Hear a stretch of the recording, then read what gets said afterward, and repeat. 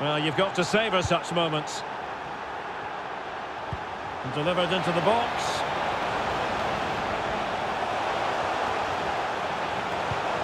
Well, this could really help the cause. Big chance! And a goal! An end-to-end game! And they weren't behind for long! Well, just look how he holds off the defender. He keeps his balance and he still hits the target. What a good goal that is.